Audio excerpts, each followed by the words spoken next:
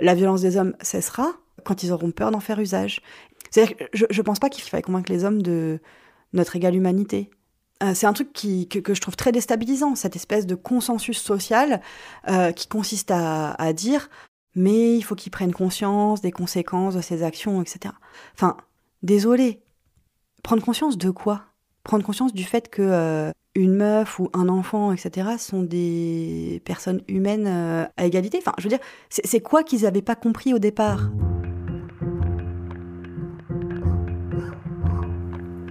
Le plus souvent dans l'histoire, Anonyme était une femme. Les bras se sont levés, les bouches sont exclamées. Maintenant, il faut des mots. Ça dure toute la vie, une évasion. C'est tout le temps à refaire. Le féminisme est une révolution, pas un réaménagement des consignes marketing. Toutes ces vies, infiniment obscures, il reste à les enregistrer.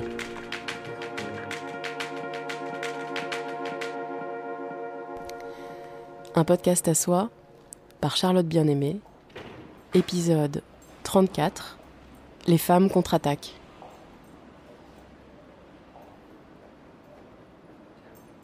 Vous voyez ce que ça fait dans le corps quand des remarques sexistes sont prononcées autour de la table lors du repas de famille, et que malgré la chaleur qui monte aux joues, vous ne parvenez pas à trouver les arguments pour faire cesser les rires gras.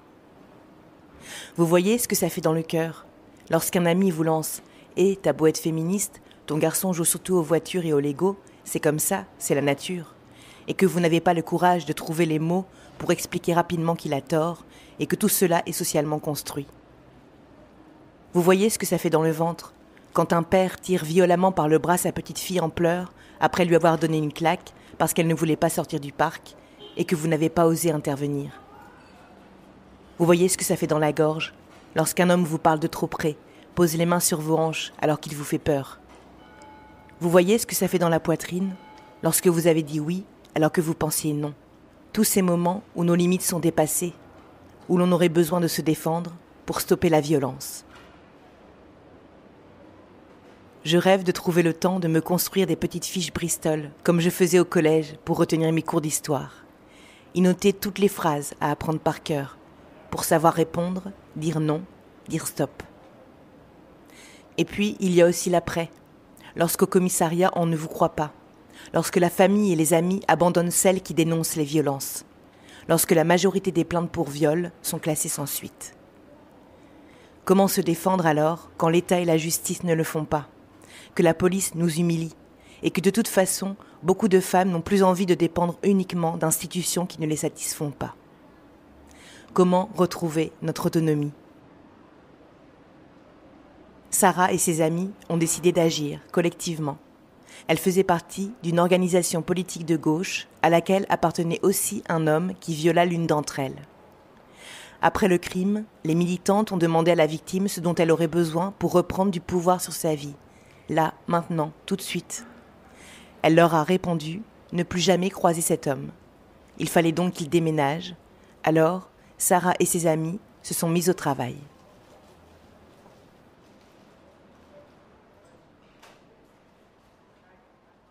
C'était pas du tout une action euh, spontanée. C'était totalement politique, totalement pensé.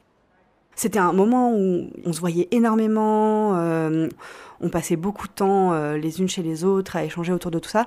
Et il y a eu l'organisation d'une action extrêmement scénarisée. On avait besoin de tout un ensemble d'artifices et d'artefacts pour se donner confiance à nous-mêmes et pour être impressionnante en fait. Investir un côté effrayant et donc, à partir de là, c'est élaboré euh, une sorte de scénario. On était un peu plus de cinq. Il y avait celle qui allait parler et celle qui allait agir. Moi, je faisais partie de l'équipe euh, des celles qui devaient parler. A priori, euh, spontanément, sans vraiment le chercher, je renvoie un truc qui fait un peu peur, et notamment aux gars. Je suis pas rassurante, et du coup, j'étais dans la team de celle qui devait lui parler.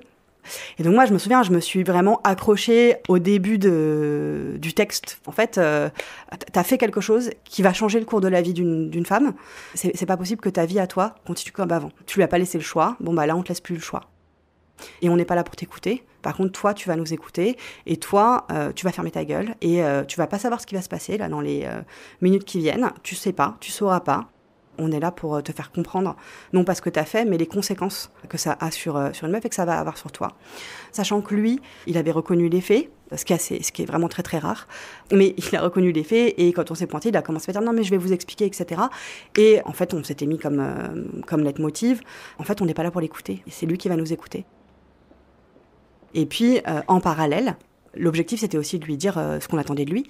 Euh, et ce qu'on attendait de lui, c'était qu'il déménage, que c'était pas négociable. Il avait un délai d'un mois pour quitter son appartement. Donc il y avait les filles qui étaient en charge de ça, qui parlaient, et pendant ce temps-là, d'autres meufs qui s'occupaient de sa chambre en fait. L'idée, c'était vraiment de marquer notre, notre passage, que ça lui coûte, la chambre a été retournée, euh, on a tagué les murs, on a écrit des trucs euh, du style euh, violeur, tu devrais avoir peur. L'idée c'était de rendre sa chambre invivable. On a balancé du vinaigre sur son lit, on a récupéré tous ses bouquins féministes, on lui a pris des, objets auxquels il tenait. Voilà, il y a, eu un côté dégradation y compris des choses parfois qui pouvaient être de valeur. Et l'idée, c'était aussi l'idée de l'indemnisation, de lui faire payer donc lui, en fait, pendant ce temps-là, il était dans la pièce, euh, dans le salon, il entendait des trucs, il savait pas ce qui se passait. Toute la dimension, euh, faire du bruit dans la chambre, euh, taguer les murs, faire tomber des trucs, plus ou moins casser des meubles, ça c'était très effrayant pour lui parce qu'en fait, il se passait quelque chose dans sa chambre, son lieu d'intimité, pendant que lui ne pouvait avoir aucun contrôle dessus. Euh, et en fait, moi-même, je ne savais pas ce qui se passait dans la chambre, par exemple, à ce moment-là, et je me demandais. Mais en même temps, j'étais tellement concentrée, avec tellement. Enfin, en plus, il y a un peu un côté. Euh, on se tient les unes les autres, on a hyper peur de faire foirer le truc, parce que comme je te disais, on n'est pas du tout arrivé en confiance, on est arrivé plutôt euh, terrorisé en fait. Du coup, moi j'étais un peu dans un état second à ce moment-là.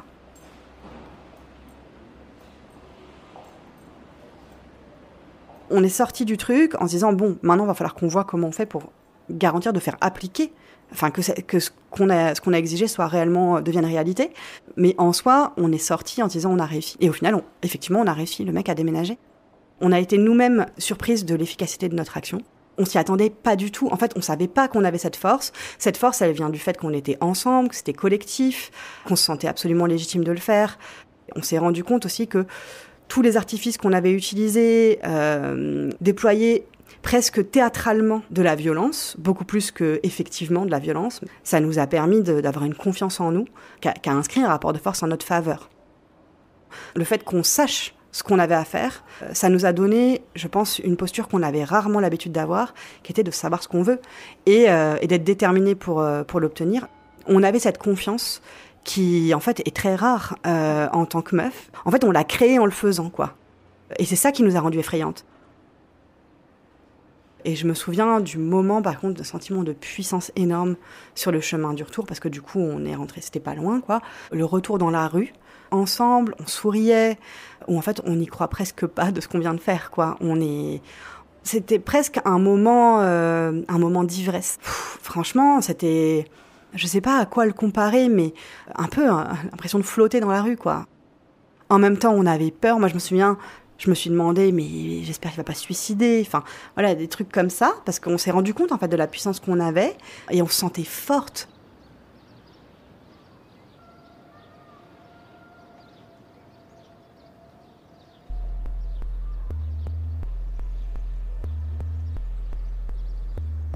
Salut connard.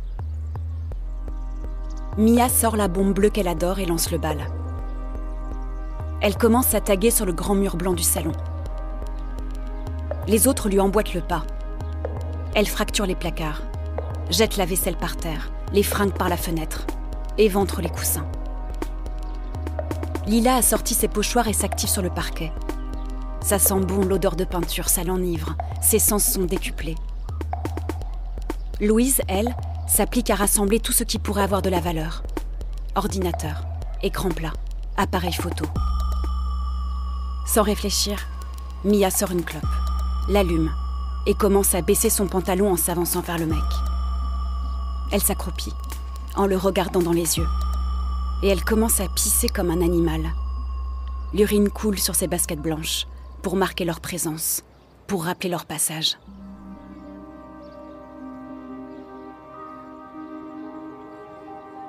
Pendant des semaines chacune dans leur tête, elles s'étaient demandé Eh ben oui quoi, pourquoi on ne riposterait pas? Pourquoi on garderait toute cette violence en nous? Pourquoi est-ce qu'on dépenserait tant d'argent chez le psy pour canaliser la colère, sans jamais obtenir justice ni réparation? Elles avaient passé des nuits et des jours entiers à élaborer leurs plans et les limites de ce qui leur semblait acceptable moralement. Elles avaient étudié les risques, parlementé pendant des heures sur l'éthique de la vengeance. Est-ce qu'on lui pète la gueule ou bien on détruit son appartement? Ça vaut quoi un viol comme punition? Est-ce que la vengeance nous rend moins humaines? Après l'action, elles sont euphoriques. Euphoriques d'avoir été jusqu'au bout du plan. Heureuses de n'avoir pas fait ce qu'on leur a appris, baisser la tête et se recoudre entre elles. Personne n'apprend aux filles le bonheur de la vengeance, la joie des représailles bien faites. Personne ne leur dit que rendre les coups peut faire fourmiller le cœur, qu'on ne tend pas l'autre joue au violeur, que le pardon n'a rien à voir avec la guérison. Ce soir, elle refuse de s'éteindre. Elle refuse d'être éteinte.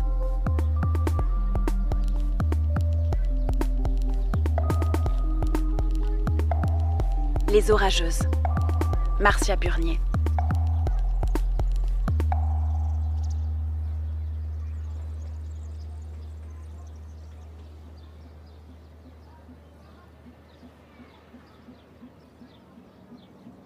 Quelle serait la définition d'une violence féministe Utilisée non pas pour asseoir un pouvoir, mais pour répondre à toutes les violences invisibles et quotidiennes exercées par les hommes. Une sorte de vengeance qui aurait plutôt la couleur d'une reprise de pouvoir. La violence peut-elle être pensée comme un outil politique du féminisme? Cette question est loin d'être nouvelle. Alors pourquoi en parle-t-on si peu? C'est ce que j'ai demandé à la sociologue Colline Cardi, avec Geneviève Pruvot, elle a coordonné en 2012 le livre Penser la violence des femmes. À travers des travaux d'autrices venant de différentes disciplines, le livre raconte que la violence est loin d'être l'apanage des hommes, même si beaucoup de femmes violentes le sont souvent en réaction à la violence des hommes. On peut y lire les articles sur des femmes qui ont tué leur mari, des chefs de gang, des pédophiles, des criminels, des génocidaires, des révolutionnaires ou des terroristes. Pour Colline Cardi, il était important de dénaturaliser, d'historiciser et de politiser la violence des femmes. Un sujet resté longtemps ignoré du féminisme, tout comme la question de la violence comme outil politique. Alors en France, hein, il faut bien distinguer les, pays parce que les, au fond, les contextes nationaux ont, joué fort. Par exemple, en Angleterre et aux États-Unis, la question de la violence a pu être thématisée dans les, mouvements féministes comme, euh, comme un outil possible hein, pour, euh, pour renverser en tout cas euh, l'ordre du genre, avec évidemment des, féminismes différents. Il faut bien le rappeler qu'il n'y a pas un féminisme, mais en tout cas, c'est des choses qui ont pu être thématisées. Les suffragettes, par exemple, étaient, faisaient valoir l'idée qu'il fallait utiliser cette violence. en France, il y a cette idée que le féminisme n'a jamais tué, et c'est important au fond, c'est cette idée qu'effectivement, il y a un lien fort entre euh, si on dénonce le patriarcat, alors il n'y a aucune raison qu'on fasse usage de la violence. Donc ça n'a pas été pensé comme une arme politique, euh, de la même façon que l'État euh, a plutôt institué des politiques d'aide aux victimes à l'égard des femmes plutôt que de leur apprendre à se défendre. Donc il y a aussi un féminisme d'État qui a conduit à cette invisibilisation. Et puis un féminisme qui a préféré, et ça se comprend très largement, mettre d'abord en avant l'idée que les femmes étaient victimes de violence. Cette idée que bah, les femmes qui font usage de la violence, c'est quelque chose de marginal. Et c'est vrai, il faut le rappeler. C'est-à-dire quand on parle de la violence des femmes, il faut rappeler qu'elles sont d'abord victimes de la violence des hommes. Mais c'est vrai qu'il y, a eu une forme de tabou féminisme, mais féministe, pardon, alors qu'en fait c'est un objet passionnant pour euh, penser la domination masculine au fond. Après, la question qui nous a taraudé sans cesse, c'est au fond, est-ce qu'il faut appeler aux armes? Est-ce qu'il faut que absolument les femmes fassent usage de la violence? Est-ce que on est des Franz Fanon euh, qui disons au fond euh, il faut que les dominés fassent, usage de l'arme pour, euh, pour renverser l'ordre? C'était compliqué comme, comme réponse et je crois que notre réponse qui est de dire au fond c'est pas tant qu'elles puissent faire usage de cette violence que cet égal accès au pouvoir de violence, c'est-à-dire qu'elles puissent faire le choix de l'utiliser. Et effectivement, on, est assez peu, Geneviève comme moi, euh, dans cette idée que c'est par la violence qu'on conquiert le pouvoir. Mais pour autant, je pense que avoir conscience que comme les hommes, on peut faire cet usage de la violence, c'est essentiel. La revendication de la violence féministe se retrouve dans les actions des militantes libertaires allemandes et canadiennes auxquelles s'est intéressée Emmeline Fourment. Docteur en sciences politiques, sa thèse Théorie en action, appropriation des théories féministes en milieu libertaire à Berlin et Montréal, propose une sociologie du militantisme féministe libertaire et des théories féministes. Emmeline Fourment m'a expliqué que les militantes libertaires réutilisaient les techniques d'action directe habituellement mises en place par les groupes libertaires mixtes contre l'État ou la police, mais cette fois, elle les utilisait contre les hommes. En taguant les murs, en descendant dans un bar pour chasser un homme accusé de viol présent ce soir-là alors qu'il devait être exclu du milieu, lançant gaz lacrymogène et traque dénonciateurs. Souvent, elles s'habillent en black bloc. Elles disent Nous devons lutter contre ces violences sexistes et sexuelles, car en tant que libertaires, nous sommes contre tout type de hiérarchie et de domination. Elles ont beaucoup de, slogans euh, Femmes, défendez-vous euh, Femmes, frappez en retour euh, elles, elles sont très, très dans cette revendication de remettre en cause, non pas de, dénoncer la violence comme intrinsèquement masculine, mais de la considérer comme un outil dont les femmes doivent s'emparer pour remettre en cause l'ordre patriarcal et que ça passe aussi par l'investissement de ces qualités traditionnellement associées au masculin. Et elles argumentent comme ça. Parfois, elles, elles, argumentent aussi en utilisant euh, en fait des analogies. Par exemple, en Allemagne, euh, la lutte centrale des libertaires, c'est l'antifascisme. Et donc, elles font un rapport entre les nazis et les violeurs, en disant, ben, on n'accepte pas un nazi dans nos milieux, donc pourquoi est-ce qu'on accepterait un violeur, par exemple? En retour, elles sont traitées de nazis tout le monde se traite un peu de nazis, mais euh, voilà, de, de nazis parce qu'elles veulent exclure, elles sont autoritaires, euh, parce que très vite, en fait, elles vont développer une stratégie de ne plus donner les récits de ce qui s'est passé, parce que ces récits sont en fait euh, lus et discutés partout, donc c'est très dur déjà pour la, victime, et ils sont utilisés pour les décrédibiliser. Elles ont cette stratégie de nommer ce qui s'est passé avec juste un mot, et ensuite de dire c'est la femme qui définit ce qu'elle a vécu. Personne d'autre n'a le droit de le définir. Donc une définition subjective en fait des violences sexuelles. Et donc euh, on s'est énormément reproché. Il hein. faut voir qu'à chaque fois qu'il y a une innovation féministe, elle va être critiquée. C'est-à-dire que ce qu'on observe au fur et à mesure, on parle plus du viol, on parle de la stratégie féministe. Et donc comme s'il allait de soi qu'en fait qui a été dénoncé euh, n'était pas vrai, donc elles ont euh, une argumentation euh, d'abord de dire euh, il y a très peu de chances que cette personne mente puisque son récit correspond à la majorité des viols statistiquement. Le risque de fausse accusation est minime. En fait, c'est pas un problème propre aux libertaires, c'est un problème que la justice a, qu'on a tous. La charge de la preuve dans la, justice pénale est très difficile et en général, pourquoi il y a un classement sans suite ou pourquoi il y a un non-lieu, c'est le non-lieu, il ne disculpe pas, il dit qu'il n'y a pas assez de, preuves, qu'en fait on ne peut pas dire. Et, c'est ça, en fait, on ne peut pas dire parce que ça se passe dans l'espace privé. Et donc euh, à partir de là, c'est très compliqué. Et d'ailleurs, la, question même de si on peut faire justice, moi parfois je, me la pose. Hein, euh, est-ce qu'il y a une justice possible dans ce cadre-là? En tout cas, à un moment, on est obligé de croire quelqu'un et en fait de, croire soit l'agresseur, soit la victime. Mais on, en fait, quand on dit qu'il n'y a pas eu, on croit l'agresseur. Tu parles aussi de la question de l'exclusion. Et du coup, ça commence à penser aussi la question de, l'exclusion d'un milieu, sachant que la personne agresseur qui est exclue peut continuer ses actes ailleurs. Il y a toute une critique qui émerge un peu plus tard de l'exclusion, qui consiste à dire euh, c'est une logique pénale en fait qui est reproduite à travers cette idée qu'on va punir et que en fait on ne prend pas le mal à la racine. Prendre le mal à la racine, c'est d'empêcher la récidive. Et donc l'idée, euh, c'était de, euh, c'était très défendu par des gens qui étaient dans le travail social notamment, de qu'il fallait les prendre en charge. Euh, mais alors, dans un moment où en Allemagne il y a tout un mouvement des hommes pro-féministes qui font des Männer radicales thérapie, c'est une thérapie radicale d'hommes, donc qui consiste à interroger la façon dont la masculinité s'est construite et aussi le rapport aux femmes, qui travaille beaucoup aussi sur leur rapport à la pornographie, des choses comme ça. Et c'est dans ce cadre que certains hommes ont fait euh, des processus euh, thérapeutiques. Après avoir été exclus. Euh, ouais, c'est ça, ouais. Les agresseurs sont revenus au centre de l'attention avec la justice transformatrice. C'est à la fois de permettre aux victimes de parler et de transformer le collectif en même temps qu'on transforme l'agresseur. Parce qu'il y a cette idée que la société est tout aussi euh, responsable des agressions que l'homme qui les a commises, puisqu'il est aussi l'expression de rapports de genre qui euh, traversent l'ensemble de la société et qu'on laisse continuer à se reproduire. Que son, son acte est aussi le produit d'une socialisation.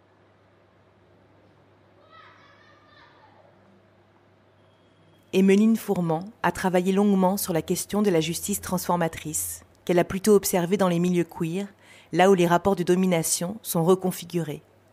Je vous en reparlerai dans un prochain épisode. Elle me raconte aussi qu'elle a observé que souvent, les militantes qui entourent la victime et proposent à l'agresseur de mettre en place des processus de transformation sont critiquées pour en demander trop à l'auteur des violences. Se défendre, quelle que soit la méthode, n'est pas sans conséquence. C'est coûteux. C'est ce qu'ont expérimenté Sarah et ses amis après leur action. on a été dépeintes assez rapidement comme des folles, quoi, des folles ultra-violentes. Le milieu qui nous entourait a vu notre puissance euh, se déployer et a vu le potentiel que ça avait. Si d'autres meufs commençaient à avoir l'idée de faire la même chose, il y a une déclaration écrite hein, euh, qui en gros expliquait qu'on était jugé parti et que du coup on, mettait en danger l'organisation et que on avait participé à des actions de lynchage. Alors que, enfin, il y a clairement eu euh, aucune euh, agression physique. Bon déjà, il y a l'usage du terme lynchage alors que on sait d'où ça vient et que ça fait référence à, des meurtres. Sachant que ce texte a été rédigé sans interroger aucune d'entre nous sur ce qui s'était réellement passé. Enfin, on est quand même encore dans un pays où euh, t'as une femme qui se fait violer toutes les 7 minutes. Enfin, c'est énorme. Bon, et le jour où on va décider euh, de juste plus laisser faire et euh, de s'organiser pendant des heures et des heures pour investir certaines représentations effrayantes pour pouvoir faire un peu peur, du coup, on devient tout de suite des ultra-violents. C'est parlant, en fait. Comment vous avez pensé cette question de euh, se faire justice soi-même, le risque de se faire justice soi-même, le risque euh, qu'on vous accuse de ça. Là, la question, c'était réellement d'agir tout de suite, en acceptant de prendre le risque d'être jugé parti. si les mecs ont peur que euh, les violences sexistes et sexuelles qu'ils font subir provoquent une réaction, et en gros, qu'ils doivent, s'ils doivent les payer d'une quelconque manière, eh ben, ils réfléchiront peut-être à deux fois. C'est vraiment cette phrase de dépente, tu vois, qui moi m'est revenue bien après. Elle dit les mecs comprendront mieux ce que veut dire non quand ils auront peur de se faire la serrer la bite euh, quand ils nous pénètrent alors qu'on leur a rien demandé. Il y avait un peu cette idée-là quand même chez nous. A posteriori, se dire il y a une forme d'éducation par la peur. Ça fait jamais bien d'avoir une accusation de viol sur le cul, ça fait jamais bien euh, que ça se sache qu'il y un, groupe de meufs qui sont venus agir contre toi, etc. Ça peut être coûteux. Euh, la violence des hommes cessera quand ils auront peur d'en faire usage. Que je, je pense pas qu'il faille convaincre les hommes de notre égale humanité tout le monde est capable de savoir que euh, si tu violes quelqu'un, a priori, ça va pas aller bien pour lui. On a envie de se dire que euh, ils peuvent euh, prendre conscience du mal qu'ils ont fait, etc. c'est beaucoup plus séduisant parce qu'on a envie de résoudre un différent. On a aussi envie de se dire que en fait, les hommes avec qui on vit et qu'on aime, nos frères, euh, nos amants, euh, nos amis, etc. Euh, ben, en gros, on n'a pas envie de se dire qu'en fait, c'est des gros connards. Des gros connards, pas forcément volontairement, mais qui en fait peuvent user du pouvoir qu'ils ont, qui leur est donné par leur position de mec. Et du coup, on n'envisage pas les choses en termes de rapport de force ou plus difficilement, et on sait que c'est très coûteux.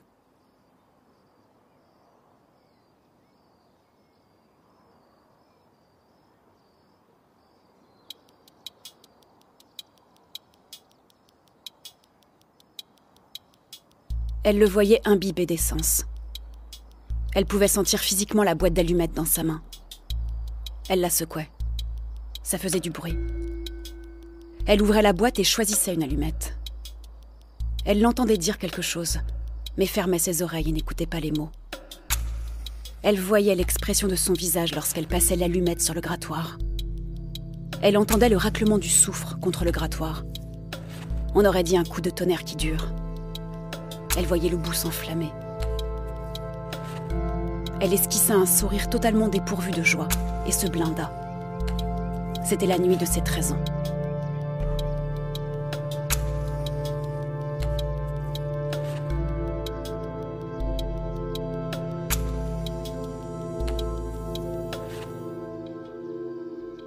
Stig Larsson, Millennium 2, la fille qui rêvait d'un bidon d'essence et d'une allumette.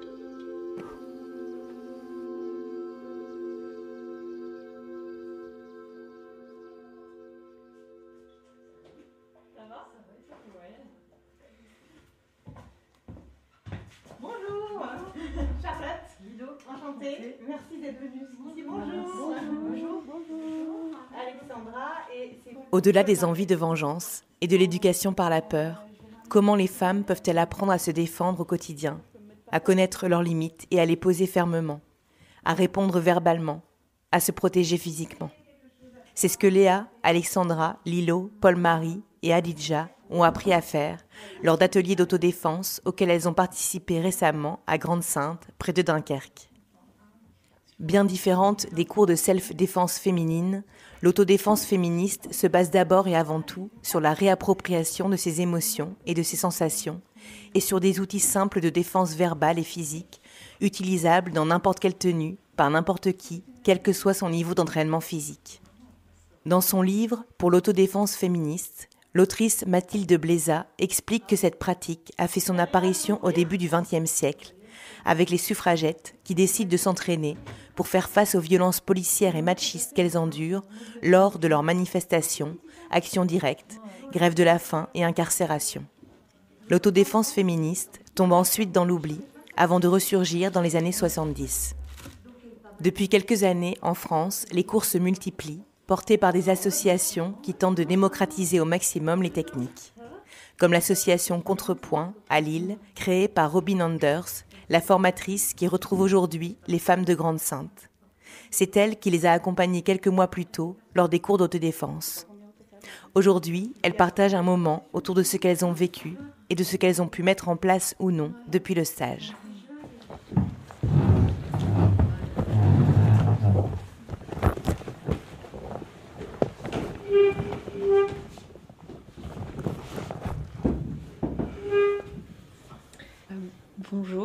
Très heureuse de vous euh, retrouver, euh, de vous rencontrer.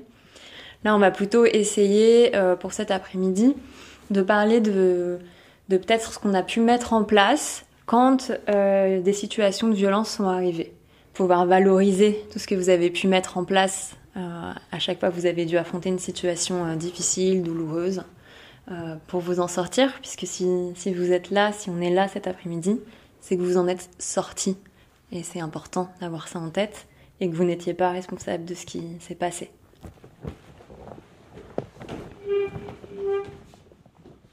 Je, je vais prendre l'exemple de ce midi, espérant que personne m'écoutera. tout simplement, ben, un truc tout bête, c'est quand on débarrasse, je suis toujours la dernière à finir de débarrasser.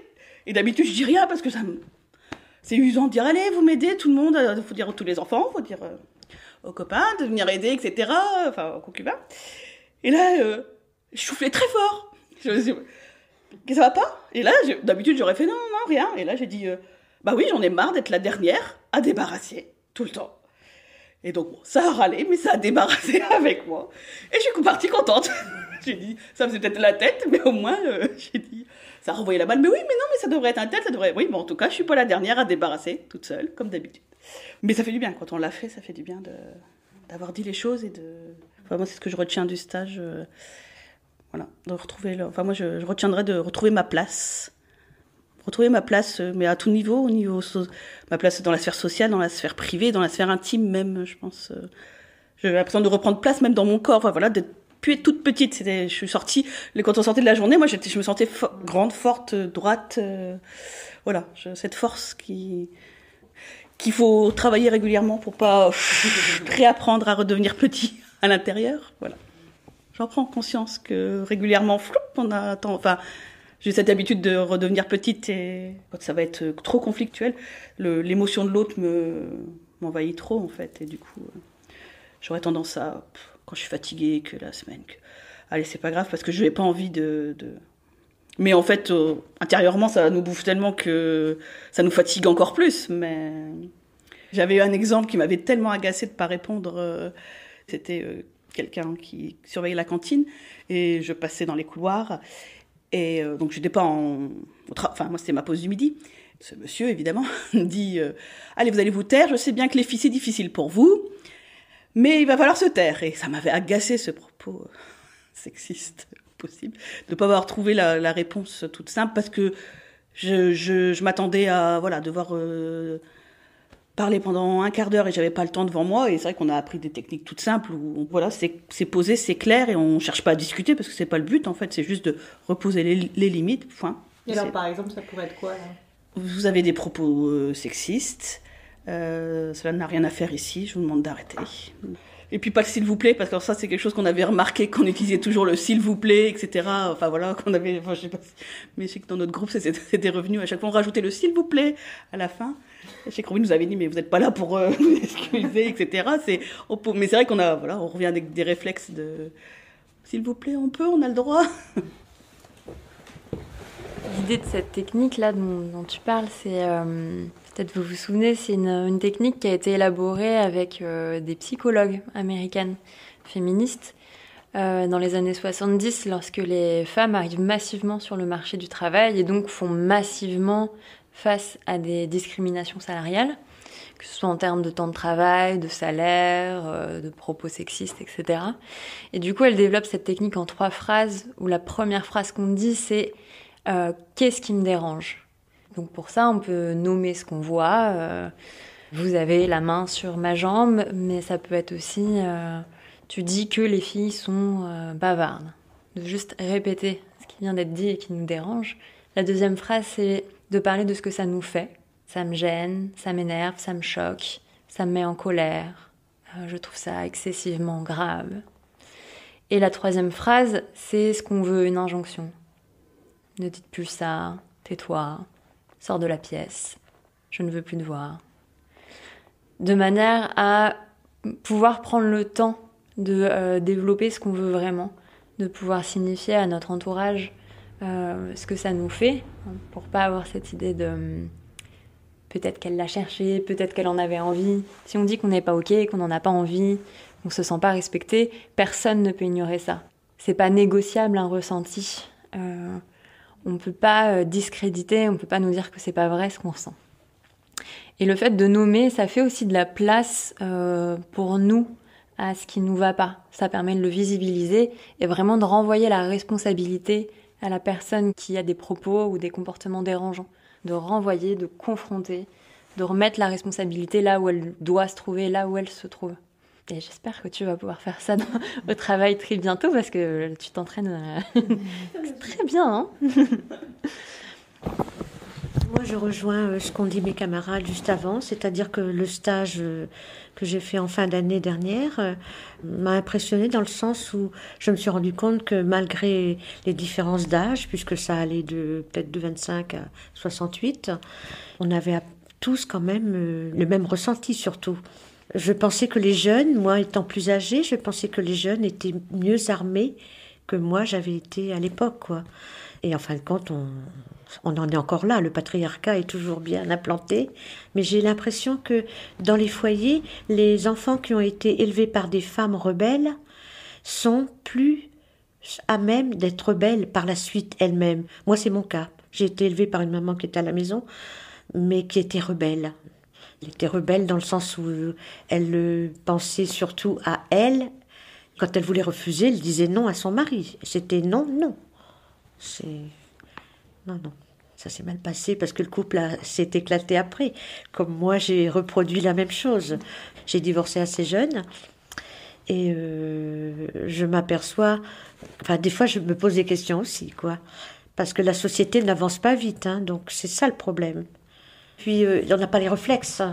C'est tellement ancré en nous, beaucoup de choses sont tellement ancrées en nous que c'est difficile d'avoir les réflexes, on les a pas. Je ne sais pas encore euh, tout de suite répondre. Oui, je pense à plein de situations où j'ai jamais su répondre non plus, je me tais. Celle qui m'a le plus euh, gênée, parce que j'étais déjà un petit peu âgée quand même, j'avais peut-être 60 ans, et en me promenant, je fais beaucoup de marches. Hein. Et en me promenant, il y a deux jeunes qui arrivent. Je voyais bien qu'ils étaient un petit peu imbibés. Et passant près de moi, ils m'ont dit Ah, t'es bonne, toi. Ce coup, j'ai tellement été scotchée. Bon, j'ai poursuivi ma route, j'ai rien dit, évidemment. Hein. Mais ça m'a fait très mal intérieurement. Mais j'ai dit Mais c'est pas vrai. Pour être mes petits-enfants. J'aurais voulu avoir le tact de répondre quelque chose euh, comme Robin nous a appris, quoi, de, pour, pour leur faire comprendre que c'était pas tout à fait adapté ce qu'ils disaient, et puis, puis ça se fait pas, quoi. Mais j'ai pas su. Qu'est-ce qu'elle vous a appris, Robin, alors? Qu'est-ce que... Ben, j'ai toutes mes notes, là. toutes mes notes. Donc, il faudra que je les relise de temps en temps. Hein. C'est déjà formidable d'avoir tout ça. Je vais alors, qu'est-ce qui est marqué dans Je vais les montrer surtout à ma petite fille, tout ça. Je vais... Elle m'a déjà posé des questions. Elle a 14 ans, 15 ans. Hein. Ah, bah, c'est une bon moment. Oui, oui, oui, oui, oui. Elle vous a posé quoi comme question votre Ah, ben, elle m'a dit que c'est très bien, qu'elle voulait savoir tout ce qu'il y avait dedans, mais pour le moment, j'ai pas eu le temps encore. Alors... Euh... Bah, par exemple, là, c'est tout simple. La première technique, les deux syllabes. Hein. Quand on nous insulte, par exemple, vous dites euh, un exemple en deux syllabes. Ah bon, oui, oui, tiens, tiens. Vous voyez, c'est des petites choses comme ça, mais on n'y pense pas euh, automatiquement. Bon, il y a plein de choses comme ça qu'elle nous a appris dans les défenses verbales. Par exemple, si un agresseur colle dans le métro ou ailleurs, ben lui dire, en le regardant, lui dire carrément, tu colles, j'aime pas, recule. Ou alors, vous criez, ça me stresse, arrêtez. Si quelqu'un regarde vos seins, vous dites, vous me regardez les seins, ça me met très mal à l'aise, regardez ailleurs, en le regardant aussi. Voilà ce que Robin nous a appris. Mais il y en a beaucoup, et en fin de compte, il faudrait les apprendre par cœur pour que ça devienne des réflexes. Moi, j'aime bien, j'aime bien ta manière quand tu parles des trois phrases. Je ne sais pas si vous avez remarqué, mais tu te redresses et ta poitrine s'ouvre et tu changes de ton de ta voix. Et ça, je trouve ça euh, vraiment chouette aussi de porter de l'attention à ce, tout ce langage non verbal et à tout ce qui vient s'inscrire. Tu vois, quand tu dis euh, voilà que c'est très ancré à l'intérieur de nous et qu'il faudrait plein de stages, bah, je suis d'accord avec toi. L'autodéfense, ça se pratique. Un stage de deux jours, euh, je sais qu'il faut un petit peu plus que ça. Mais par contre, prêter attention à toutes ces petites choses-là que tu fais, même, même quand tu nous partages ces trois phrases, de prendre plus de place dans ton fauteuil, d'avoir ta poitrine qui s'ouvre, une voix plus ferme, c'est pas rien tout ça. C'est déjà énorme. Merci. Je te trouve très belle quand c'est comme ça. Je voulais rebondir sur le justement le. Moi, quand je devais, quand je me suis inscrite au stage d'autodéfense, j'avais pas cette peur. Euh, dans l'espace public. Donc j'étais sur le coup, je m'étais dit bon ben, je voyais l'autodéfense vraiment que dans l'aspect euh, physique. Et je pense que, enfin moi en tout cas, c'était l'aspect verbal qui m'a vraiment le plus marqué. Même si je pense que l'aspect physique est vraiment important de voir sa puissance, cette prise de puissance euh, dans le corps, de reprendre euh, contact avec notre corps et notre puissance, notre capacité d'avoir de la puissance avec nos coups. donc le, ouais, je crois que le fait de de casser un genou facilement. Je crois que ça m'a marqué euh, vraiment. Euh, voilà, ben, le fait voilà, de, de savoir les points euh, sensibles et qu'il n'était pas nécessaire d'avoir une énorme force en fait, mais qu'on était quand même capable de force avec nos mouvements et de. moi, je sais que le cri, de sortir le cri, ça c'était quelque chose de. Enfin, je pense que j'aurais été dans un groupe mixte, j'aurais jamais osé crier. J'aurais fait le petit cri, voilà, qu'on nous apprend. Et ça fait du bien, ouais, de, de crier et de d'oser et de pas se sentir euh, jugé. Tu cries pas souvent, toi? Non. Non, non je crie pas. T'aurais envie? Oh oui, je crois que. Là, ça t'entendre parler, je reviens un peu l'émotion que je vivais et ça fait vraiment du bien, quoi. Ça nous a fait du bien et en fait, on devrait le faire plus souvent, quoi. Qu'est-ce qui t'a fait du bien, toi? Bah, de crier, quoi. Ok, alors on peut passer à la deuxième de cet exercice. Je vous invite à reculer. C'est toujours la même personne qui va travailler. Et cette fois, on va changer un petit peu le contexte. Donc cette fois, votre partenaire euh, ne vient pas vers vous pour euh, discuter. Vous sentez qu'elle va vous dire quelque chose de désagréable. Vous avez un mauvais pressentiment. Point serré, solide, elles lancent leurs bras dans un vif mouvement circulaire. Et juste avant l'impact, expulsent des cris graves, secs. Oh Les coussins tenus fermement par leur binôme s'effondrent au sol. Le groupe est à l'entraînement, concentré, en pleine puissance. C'est le deuxième jour. Les cris ont pris de l'intensité. Les souffles et les sons gênés de la veille ont été remisés. Les muscles sont tendus, toute la colère amassée là. Maintenant, ils n'ont plus honte. Elle frappe à 100%. Elle traverse la cible.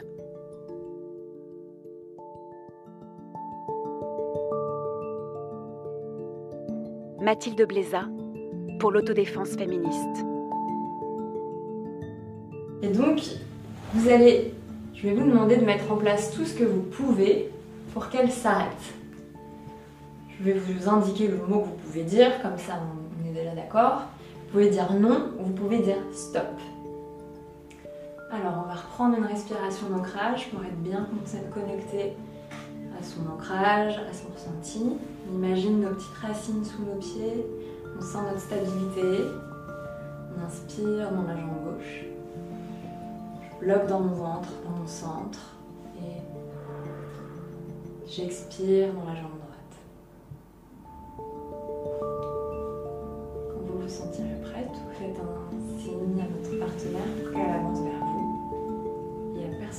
Maison, vous pouvez donner de la voix. Stop. Stop.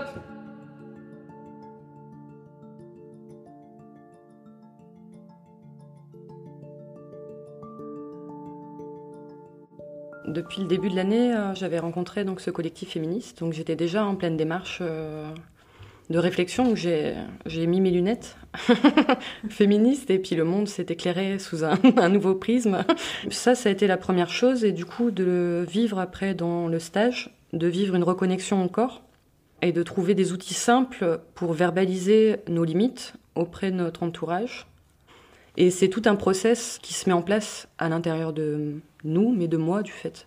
Donc ça m'a donné une assurance euh, forte, ce qui fait que j'ai recadré des choses autour de moi.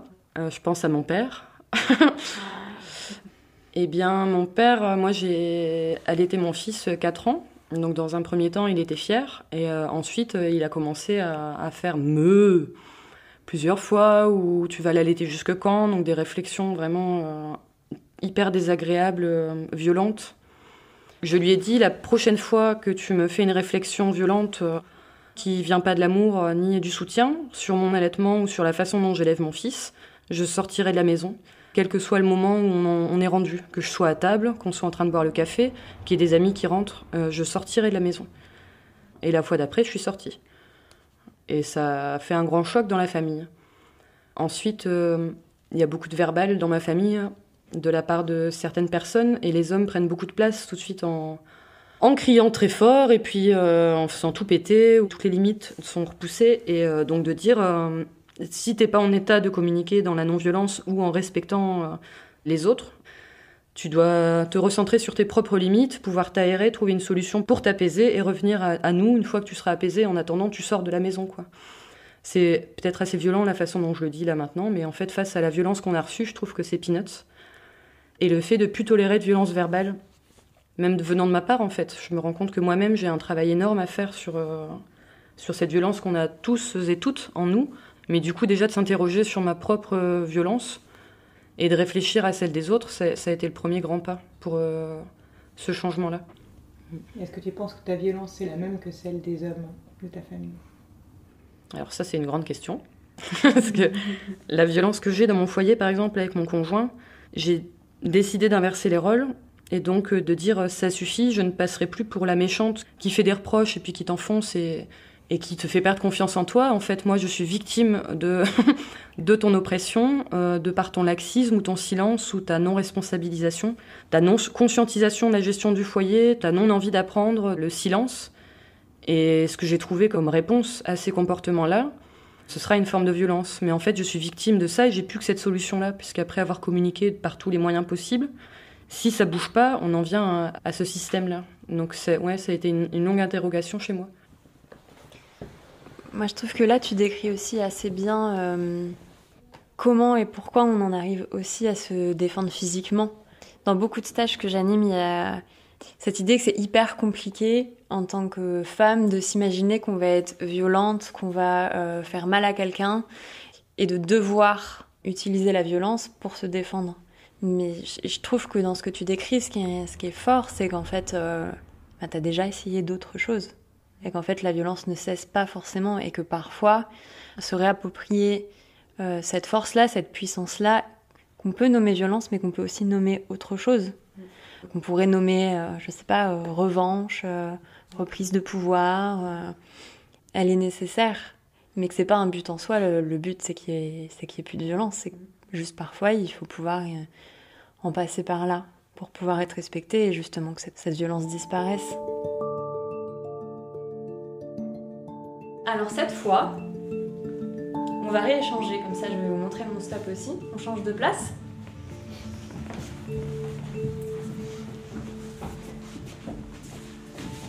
Cette fois, on veut vraiment pas que notre partenaire dépasse nos limites. On veut vraiment pas qu'elle rentre dans notre zone de confort. Et on veut quand même qu'elle discute avec nous. Donc si elle est à 3 mètres de nous, ça va être compliqué. Mais on l'arrête vraiment à l'endroit de cette zone de sécurité. Pas plus proche, pas plus loin.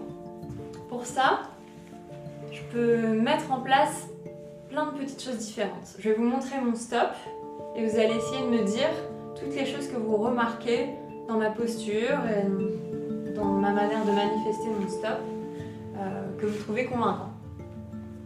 Est-ce que tu veux le faire avec moi? C'est pas toujours agréable de se prendre mon stop dans la figure. hein.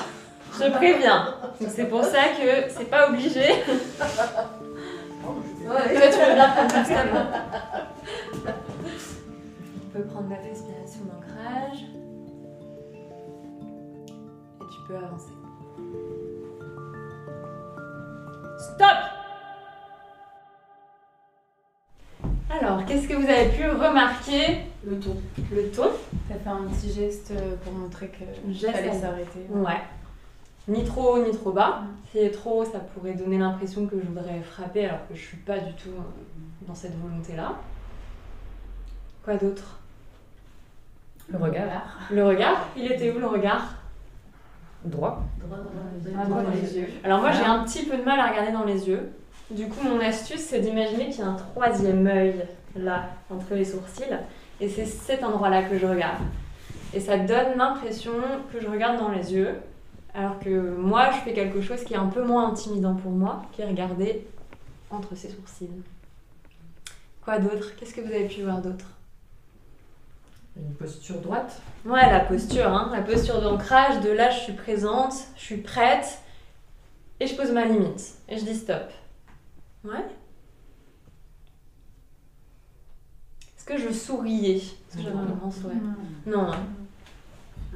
on fait ça un visage. euh, Je sais pas faire ça. Assez fermé. Voilà, c'est fermé, ouais. Ouais. Pas un visage qui invite à la discussion en tout cas. Mhm. Ok, on a à peu près tous les éléments là. Donc les expressions du visage, le regard, la voix, le geste et la posture. Ok? Pour moi, c'est pour prendre des choses, à me contrôler, à dire non, à dire stop. euh, comment on peut se défendre, comment on peut prendre euh, les solutions dans les lieux publics. Et alors, est-ce que tu as réussi à mettre en pratique? Pas tout à fait. Bah, me traiter par rapport à ma couleur de peau, ou- voilà. Avec des mots euh, très, très durs à supporter. Bah, j'ai ignoré, j'ai changé de trottoir. J'ai dit, bon, c'est une petite dame, je dis, bon, faut la laisser, peut-être elle est malade, ou... Mais je suis bien restée euh, zen. Je l'ai ignoré. Est-ce que tu veux juste nous décrire deux mots comment ça s'est passé C'est ok pour toi? Ouais. Vas-y. Euh, elle m'a traité de sale négresse. Ok. Bon, c'est- déjà amplement suffisant et Voilà. c'est- très grave. C'est vraiment une insulte qui croise du sexisme et du racisme et que c'est ok d'être en colère. Est-ce que tu te souviens d'une technique d'autodéfense verbale qu'on avait vue ensemble? Je me rappelle, ouais. Tu te rappelles? Ouais. On essaye ensemble? D'accord. Ça te dit? Ouais. Alors, première phrase. Qu'est-ce que tu lui dirais à cette dame? Qu'est-ce qui te dérange? C'est une insulte, je dirais. Je vous de sale négresse, c'est une insulte? En tout cas, dans cette première phrase, c'est possible de juste répéter ce qui nous a été dit. Donc ça pourrait être Vous m'avez dit sale négresse. Tu vois, ça s'attirait comme première phrase Ouais. Qu'est-ce que ça te fait? Comment tu t'es sentie? En colère. Ça me met en colère? Je suis en colère? Comment Ouais. Qu'est-ce que tu préférerais dire? Moi, je suis en colère, je suis, je suis énervée, je suis. Ouais. Et je dis à cette dame aussi que si vous m'insultez encore, je peux porter plainte. Dernière phrase, c'est exactement ça. Si vous m'insultez encore, Ouais. j'irai porter Des plainte. plaintes. Ouais, super. On refait les trois? Ouais, on va essayer. Alors, vas-y, première. Vous m'avez insulté de sale négresse. Là, je suis en colère. Et si vous m'insultez encore, je porte plainte. Yes Eh, Bravo C'est tout, hein Ouais. Ouais, c'est super. Comment tu te sens là? Trop bien. Trop bien Ah ouais, là, c'est vraiment que tout. C'est du bien de- d'en parler. Et de te dire aussi que tu as le droit de pas répondre si tu n'as pas envie de répondre. Enfin, c'est complètement ok.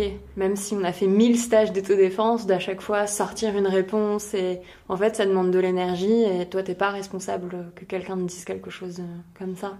C'est aussi très bien de faire ce que tu as fait quand tu as changé de route. Juste partie de cette situation, c'est vraiment important. Je tenais vraiment à te dire que, que c'est aussi une réussite en Ouais. fait. Que c'est pas juste dire ces trois phrases une réussite. Non, mais c'est du bien d'en parler. C'est-à-dire que ça fait du bien de, de se lâcher. Ouais. Merci.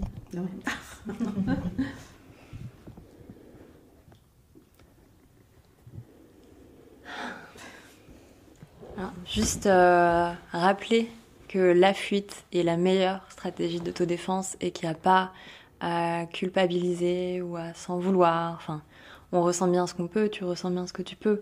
Mais la fuite, c'est aussi très puissant. Si tu n'es pas à l'endroit de l'agression, il n'y a pas d'agression. On ne peut pas juste se dire que, euh, que la fuite, c'est de l'évitement. Euh, pour moi, ce qui est important, c'est que la fuite, on puisse conscientiser que à ce moment-là, je choisis de quitter Drame de métro. Je choisis de mettre mon énergie pour partir. Et partir à plein de moments, c'est énorme. C'est euh, sauver sa vie, à plein de moments partir, c'est s'empêcher de vivre quelque chose, c'est se préserver, c'est se protéger. C'est hyper important. En fait, c'est déjà courageux de partir. Moi, je pensais à une discussion qu'on avait eue pendant le stage sur euh, une révélation que j'ai vécue de reprise de reprise de pouvoir, mais sur mon passé en fait. J'ai habité à Lille quand j'étais étudiante et donc j'ai été euh, le plus confrontée à la violence et à la violence physique aussi dans la rue ou verbale de la part d'inconnus. C'est là où les inconnus m'ont le plus agressée en fait, de mes 18 à 20 ans. Mais en tout cas, je me promenais dans la rue j'avais mes collants troués et il y a un homme qui arrivé derrière moi qui me regardait bizarre. J'avais un quart d'heure de marche jusqu'à la maison de mon ex. Et donc je marchais et mes collants étaient troués. Il a comparé ces, ces trous-là avec tous les trous de mon corps qu'il aimerait bien se faire, avec des propos très vulgaires et hyper violents. Donc j'ai eu très peur. Donc j'envoie tout de suite un message à mon ex en disant euh, cours, je suis en danger, je prends la rue de de- d'habitude. Euh, je range le téléphone et puis j'essaie plusieurs stratégies. Donc euh, j'ai parlé avec lui, je l'ai évité, j'ai marché vite. puis c'en est venu à de la violence physique. Il m'a plaqué contre le mur par le cou. Et à ce moment-là, mon ex est arrivé et il s'est, il s'est barré, quoi. Et donc je raconte cette anecdote à Robin en disant que quand j'étais plus jeune, j'étais très sportive et très physique. Beaucoup d'amis, femmes d'ailleurs à moi, me disaient oh, j'aimerais pas me battre contre toi. T'es quelqu'un de très physique et t'as pas peur de te connecter à cette puissance physique. Et que euh, ce jour-là, il y a quelque chose qui s'est un peu cassé en moi sur cette confiance-là. Euh, et que j'avais vécu ça comme un grand échec. Et Robin m'a dit, mais en fait, euh, ce qui s'est passé, c'est tout à fait l'inverse. T'as mis en place plein de stratégies différentes, et en fait, t'as réussi à repousser l'agression physique. Donc, euh, ça a été une grande victoire de réappréhender ce moment-là pour moi, en me disant, mais oui, j'avais mis en place des stratégies que je n'avais pas identifiées ni conscientisées à l'époque. Et j'ai réussi à décaler cette agression physique pour pas vivre euh, de choses plus difficiles, puisque en plus c'était juste à côté d'un immeuble désaffecté où il essayait de m'entraîner, donc euh, ça s'annonçait pas joli joli quoi. Et donc ça a été une belle revanche pour moi et une reconnexion physique à ma puissance quoi, de l'appréhender comme ça. Stop. Stop Bravo Comment vous vous sentez? Je vous vois sourire en tout cas. Toi, t'as mis ta main hyper haut. Enfin, limite au niveau de ma tête, quoi. T'as eu peur? Ouais, franchement, ça, ça faisait peur. C'est comment pour toi qu'elle te dise ça? Que ça lui avait fait, un... ça lui a fait peur Bah, je, je suis désolée. On prend vite les vieilles habitudes de s'excuser. Ouais, ouais. Ah, c'est mon ami en plus. Bah euh, oui. Et pour toi, comment c'était? Je pense que j'ai beaucoup de mal à transposer euh, des paroles bien malveillantes ou euh, actes malveillants sur, sur toi et que ça fait que je- j'ai du mal à me mettre en condition pour imaginer ça, je pense. Hmm. Mais est-ce que c'est toujours des personnes qui nous veulent du mal, qui transgressent nos limites Quand c'est quelqu'un de proche, c'est plus difficile de, de donner ses limites et de, de dire non, des choses comme ça. Hmm. Donc finalement, à un inconnu, ce serait plus facile de poser ses limites et de lui dire stop. C'est un- C'est un petit peu contradictoire avec ce qu'on disait tout à l'heure, non? Qu'on a plus d'insécurité dans un endroit où on ne connaît pas les gens. Ouais. Hmm. Ok. J'avais aussi envie de revenir sur euh, ce que vous disiez sur l'espace public, où moi je trouve que ça peut être intéressant de faire une différence entre euh, le sentiment d'insécurité et l'insécurité effective. Parfois on a ce sentiment d'insécurité, ce sentiment qu'il va nous arriver quelque chose avec de la peur, mais c'est aussi une peur qu'on a appris, une peur qui est, qui est construite, une peur parce que euh, quand on était petite par exemple, on nous disait euh, ne sors pas comme ça, ou euh, ah mais euh, tu sors alors qu'il fait nuit, fais attention à toi, euh, euh, laisse pas traîner ta fille. Mais on ne disait pas aux petits garçons, euh, tiens, ben, si tu sors, ne viole pas ou n'agresse pas une femme. Et tout ça, ça vient aussi inscrire dans nos corps, dans nos imaginaires, l'idée que l'insécurité est partout dès qu'on est en dehors de la maison. Alors je dis pas que c'est pas légitime hein, cette peur, bien au contraire, euh, c'est important de pouvoir l'écouter aussi, mais aussi de se dire qu'à des moments elle est construite. Je dis ça parce que si on regarde un peu les statistiques euh, qui sont faites euh, très régulièrement, il y a cette idée que dans les violences les plus, enfin, dites les plus graves, comme les violences physiques et ou sexuelles, dans 85% des cas, la personne qui est victime connaît l'agresseur. Pour la moitié, c'est une personne de la famille, très régulièrement c'est le conjoint ou l'ex-conjoint. Alors ça ne veut pas dire que ça n'arrive jamais à l'extérieur, ça veut surtout dire que euh, l'insécurité, c'est intéressant de la réfléchir en termes de sentiments, de sensations, enfin pas uniquement quelque chose de factuel.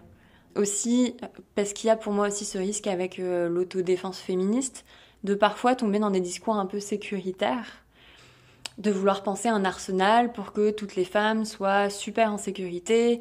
Et bien sûr, euh, moi j'ai envie que toutes les femmes soient en sécurité, se sentent en sécurité.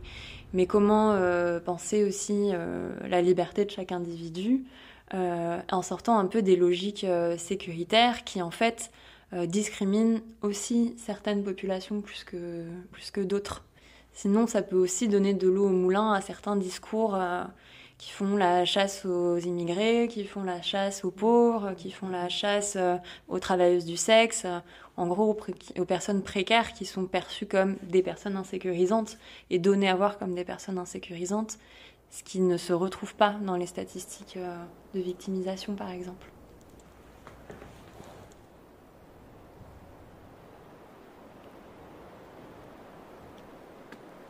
Au Québec et aux Pays-Bas, l'autodéfense féministe est dispensée aux jeunes filles à l'école, au collège, au lycée, mais aussi dans les établissements médico-sociaux. Dans son livre, Mathilde Bléza rappelle à quel point il serait primordial que l'éducation nationale française se saisisse aussi de cet outil de prévention. Car les établissements scolaires sont des lieux où les enfants passent une immense partie de leur temps et où s'exercent de nombreuses violences. Elle évoque aussi des ateliers destinés aux garçons, à la fois sur les agressions qu'ils peuvent subir et sur comment ne pas être un agresseur. Cela demanderait du temps, de l'argent et une volonté politique de considérer qu'apprendre aux femmes et aux enfants à se défendre est tout aussi important que de défendre leurs droits.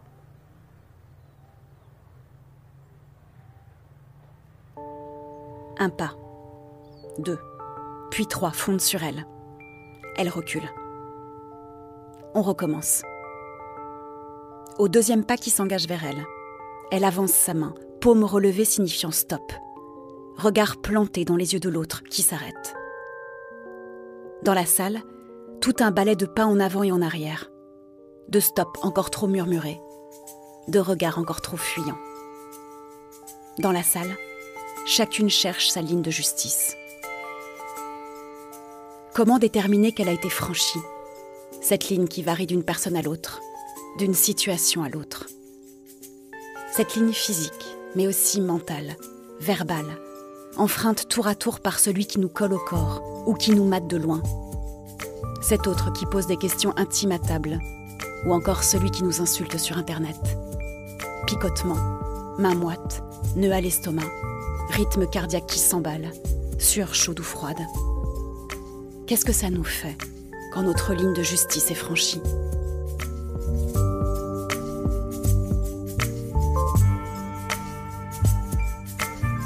Mathilde Bléza pour l'autodéfense féministe.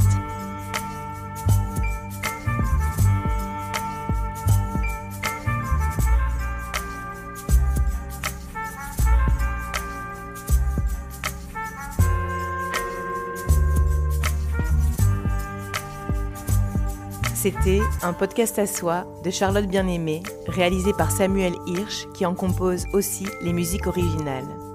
Collaboration Sarah Bénichou. Lecture des textes Laure Giapiconi. Merci à Nina Faure et à Guillaume Jacquemart. Un podcast à soi est produit par Arte Radio. Vous pouvez l'écouter sur toutes les plateformes de podcast et sur le site arteradio.com. Écrivez-nous à l'adresse un podcast à soi at artefrance.fr sur le Facebook d'Arte Radio, l'Instagram Charlotte Bien-Aimée ou le Twitter Un podcast à soi. Vive la radio, vive les podcasts, vive la révolution féministe.